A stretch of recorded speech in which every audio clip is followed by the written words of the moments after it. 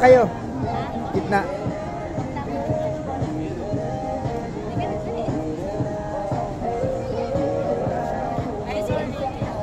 Okay na. Na.